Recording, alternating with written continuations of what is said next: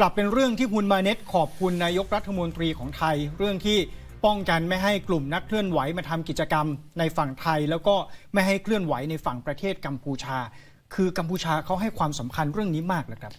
เป็นการให้ความสำคัญมาตั้งแต่ยุคพ่อของคุณมาเน็ตเลยก็คือคุณเซนนะครับมาจนถึงรัฐบาลชุดปัจจุบัน เพราะฉะนั้นก่อนหน้านี้เราอาจจะเคยได้ยินหรือการตั้งคำถามว่าเอรัฐบาลชุดใหม่ของกัมพูชาภายใต้การนำของคุณมาเน็ตเนี่ยจะเปลี่ยนแปลงไปมากขนาดไหนเกี่ยวกับเรื่องของนักเคลื่อนไหวทางการเมืองถูกไหมครับ แต่ว่าความเคลื่อนไหวของคุณมาเน็ตเมื่อวันพุธที่ผ่านมาก็น่าจะเป็นตัวตอกย้ำเป็นเครื่องบ่งชี้ได้เหมือนกันว่า รัฐบาลกัมพูชาก็น่าจะดำเนินนโยบายในแบบเดิม แต่ก่อนอื่นให้คุณผู้ชมกลับไปฟังการถแถลงของนายกรัฐมนตรีกัมพูชาอีกสักครั้งหนึ่งครับ And thanks for your reaffirming of uh, your support that not allowing uh, Thai territory to be used for any activities, for interference in Cambodian internal politics. The same thing, the Cambodia government is also give commitment of not allowing Cambodia source as a land or for conducting activities to interfere with Thailand or causing uh, issues in Thailand. ที่บอกว่าเหมือนเดิมเนี่ยเหมือนเดิมยังไงครับ เป็นคีย์เวิร์ดสำคัญเมื่อสักครู่นะครับก็จะเห็นว่าขอบคุณประเทศไทยที่ไม่ยอมเปิดโอกาส เปิดพื้นที่ให้นักเคลื่อนไหว ต่อต้านรัฐบาลเนี่ยเข้ามาทำกิจกรรมอย่างใดอย่างหนึ่งภายในประเทศ ซึ่งถ้าย้อนกลับไปในช่วงรัฐบาลของคุณเซนก็มีท่าทีคล้าย ๆ กับแบบนี้ออกมา เช่นเดียวกันนะครับ เพราะฉะนั้นนี่เป็นสิ่งที่ผมเลยบอกว่าท่าทีของรุ่นพ่อกับรุ่นลูกเนี่ยไม่ได้แตกต่างกันมากนัก ในเรื่องของการจัดการนักเคลื่อนไหวทางการเมืองแบบนี้ แล้วมันก็จุดประเด็นวิพากษ์วิจารณ์เหมือนกันนะ คุณเจษดาเพราะว่า ทางนายกรัฐมนตรีเศรษฐาเองเนี่ยก็ขานรับเลยนะครับ บอกว่ารัฐบาลไทยเนี่ยนโยบายของรัฐบาลไทยก็แน่นอนอยู่แล้วนะครับ จะไม่เปิดโอกาสให้กลุ่มมาเคลื่อนไหว เพื่อแทรกแซงกิจการทางการเมืองของประเทศเพื่อนบ้านอย่างแน่นอนครับ นี่เป็นสิ่งที่เป็นความเคลื่อนไหวนอกเหนือจากเรื่องของปัญหาพื้นที่ทับซ้อนทางทะเลครับ หลาย ๆ อย่างที่สื่อไทยให้ความสนใจ นี่ก็เลยเป็นประเด็นที่สื่อกัมพูชาเองก็ให้ความสนใจครับ ไม่ว่าจะเป็น The Phnom Penh Post Khmer Times ก็รายงานเรื่องนี้กัน ตั้งแต่ช่วงปลายสัปดาห์ที่ผ่านมานะครับกลายเป็นพาดหัวในกัมพูชาเลย ถูกต้องครับเป็นพาดหัวในกัมพูชา แต่ทีนี้ตั้งข้อสังเกตว่าเอ๊ะมันก็เกิดขึ้นประมาณ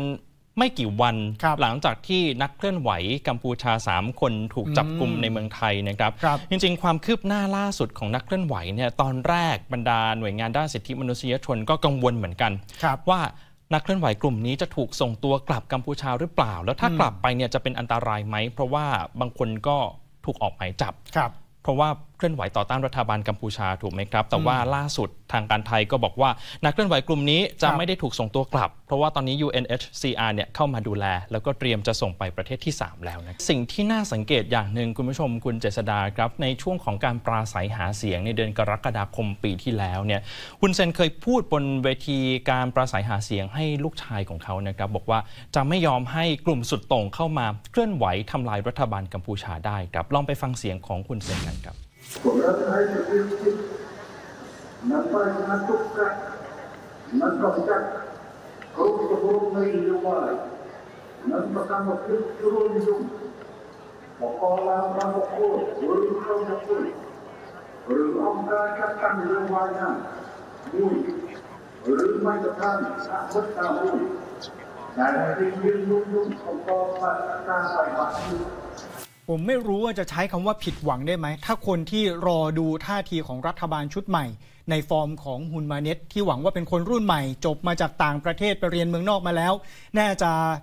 flexible ยืดหยุ่นกับกิจกรรมทางการเมือง แต่ตอนนี้ท่าทีที่มีต่อนักกิจกรรมทางการเมืองเนี่ยก็อาจจะไม่ต่างจากรุ่นพ่อเท่าไหร่ท่าทีของคุณมาเน็ตในการเดินทางเยือนครั้งนี้ก็พอจะตอบคำถามได้ แล้วเมื่อสักครู่ที่ฟังเสียงของคุณเซนไป ก็เป็นตัวตอกย้ำอย่างที่ผมบอกว่ามันเป็นเครื่องบ่งชี้เหมือนกันว่ารัฐบาลกัมพูชาชุดปัจจุบันก็คงไม่แตกต่างจากเดิมสักเท่าไหร่ แต่ถ้าเรามาดูความเป็นคุณมาเน็ตเนี่ยก็น่าสนใจไม่น้อยนะครับ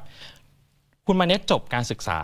จากตะวันตกทั้งสหรัฐ แล้วก็อังกฤษเลยนะ แล้วก็จบโรงเรียนในร้อยเวสต์พอยท์ที่ถือว่าเป็นชาวกัมพูชาคนแรกที่จบการศึกษาจากสถาบันแห่งนี้ มาเลยทำให้สื่อต่างชาติ องค์การสิทธิมนุษยชนคาดหวังไงครับ ว่าเอ๊ะ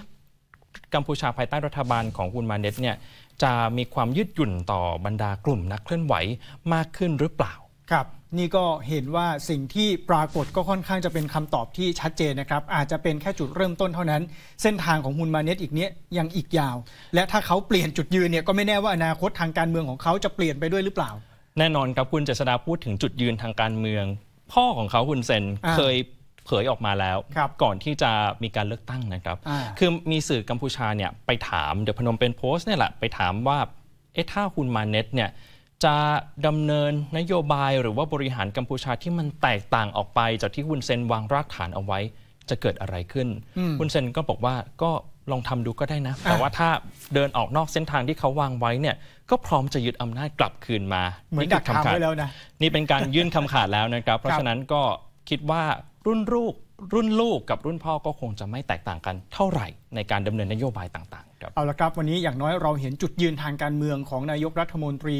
คนใหม่ของกัมพูชา ซึ่งก็มาเยือนไทยในรอบนี้มีหลายเรื่องแหละ แต่เรื่องการเมืองเนี่ยเหมือนจะเป็นเรื่องที่ในฝั่งของกัมพูชาเขาจะให้ความสำคัญเป็นพิเศษ ขอบคุณคุณพงศธรครับครับ